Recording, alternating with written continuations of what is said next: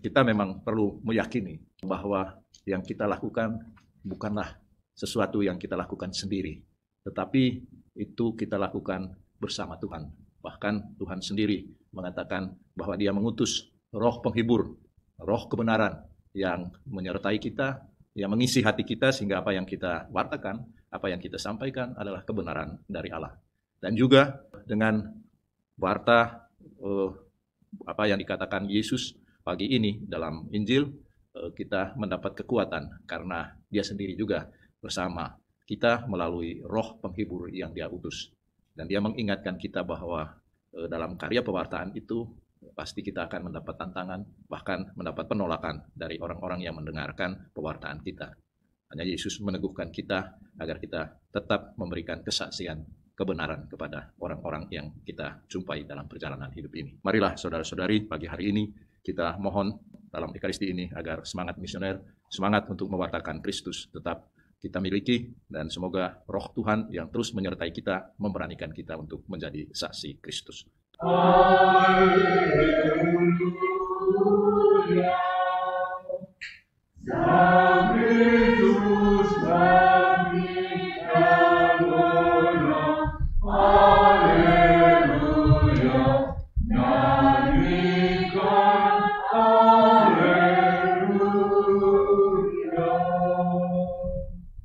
Dalam nama Bapa dan Putra dan Roh Kudus. Amin. Rahmat dan damai sejahtera dari Allah Bapa dan dari Tuhan kita Yesus Kristus bersamamu. Marilah saudara-saudari kita membuka hati kita untuk mendengarkan Tuhan yang membimbing kita melalui kisah para rasul pagi hari ini dan Injil yang menghantar kita untuk senantiasa uh, mempersiapkan diri untuk senantiasa meyakini bahwa Allah akan mengutus roh kudusnya untuk menyertai kita. Kita mohon ampun atas segala kesalahan dan dosa-dosa kita, agar kita pantas dan layak merayakan peristiwa penyelamatan ini. Saudara-saudari, ada dikatakan bahwa iman itu bertumbuh dari pendengaran. Artinya, ada orang yang mewartakan, ada orang yang menuturkan tentang Allah, dan ada yang mendengarkannya. Dalam kisah para rasul yang tadi kita dengarkan dituturkan tentang Paulus dan Silas yang berjalan dari kota ke kota, dari daerah ke daerah. Dikatakan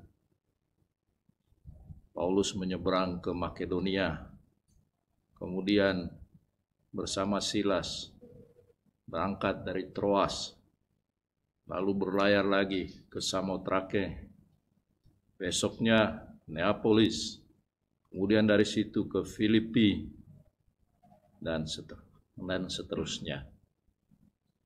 Semangat misioner ini dimiliki oleh Paulus setelah dia membuka hatinya kepada Tuhan.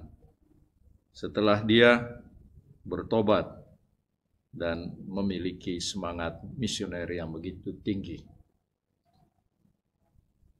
Kisah ini juga pasti eh, memberi inspirasi bagi cara bermisioner yang dilakukan oleh para misionaris dahulu ataupun juga para misionaris pada masa kini. Setidak-tidaknya untuk saya sendiri, tatkala saya berkarya di Papua di pedalaman ya kita mengadakan yang namanya kalau di sana namanya torne atau di tempat lain kalau di Flores namanya patroli.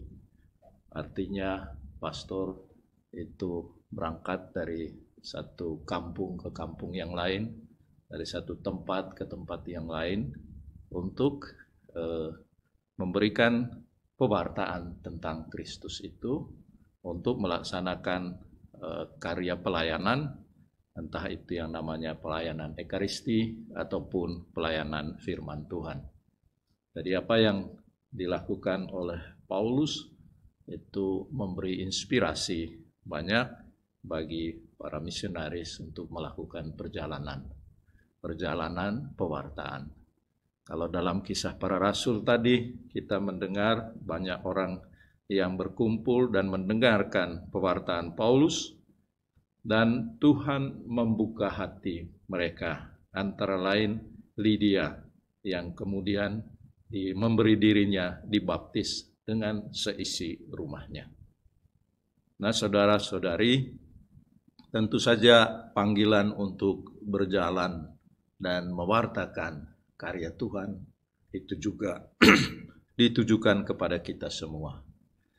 Memang dalam hal ini kita perlu membuka hati kita agar Tuhan sungguh-sungguh eh, meneguhkan kita, agar Tuhan sungguh-sungguh mendorong kita untuk melakukan karya pewartaan ini.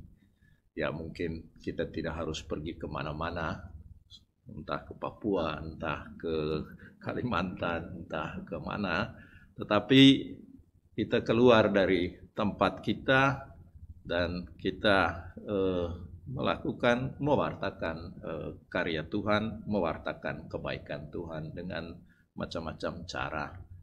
Eh, saya senang di keuskupan kita eh, ada yang namanya eh, kursus evangelisasi pribadi yang antara lain juga eh, salah satu cara untuk mendorong orang keluar dari eh, dirinya dan disemangati eh, untuk eh, mewartakan kebaikan Tuhan untuk eh, berjumpa dengan eh, orang lain mewartakan kebaikan Tuhan. Dalam hal ini eh, kita memang perlu meyakini eh, bahwa yang kita lakukan bukanlah sesuatu yang kita lakukan sendiri, tetapi itu kita lakukan bersama Tuhan. Bahkan Tuhan sendiri mengatakan bahwa Dia mengutus roh penghibur, roh kebenaran yang menyertai kita yang mengisi hati kita sehingga apa yang kita wartakan, apa yang kita sampaikan adalah kebenaran dari Allah. Dan juga eh, dengan warta eh, apa yang dikatakan Yesus pagi ini dalam Injil, eh, kita mendapat kekuatan karena dia sendiri juga bersama kita melalui roh penghibur yang dia utus. Dan dia mengingatkan kita bahwa e, dalam karya pewartaan itu pasti kita akan mendapat tantangan, bahkan mendapat penolakan dari orang-orang yang mendengarkan pewartaan kita. Hanya Yesus meneguhkan kita agar kita tetap memberikan kesaksian kebenaran kepada orang-orang yang kita jumpai dalam perjalanan hidup ini. Marilah saudara-saudari pagi hari ini kita mohon dalam Ekaristi ini agar semangat misioner, semangat untuk mewartakan Kristus tetap kita miliki dan semoga roh Tuhan yang terus menyertai kita memberanikan kita untuk menjadi saksi Kristus. Tuhan memberkati. Marilah mewartakan misteri iman kita kami kami makan roti ini dan minum dari piala ini wafatmu Tuhan. Kami wartakan hingga engkau datang. Tuhan bersamamu. Semoga Allah yang Maha Kuasa memberkati saudara sekalian, Bapa dan Putra dan Roh Kudus. Amin. Saudara sekalian, dengan ini perayaan Ekaristi sudah selesai. Marilah pergi kita diutus. Amin.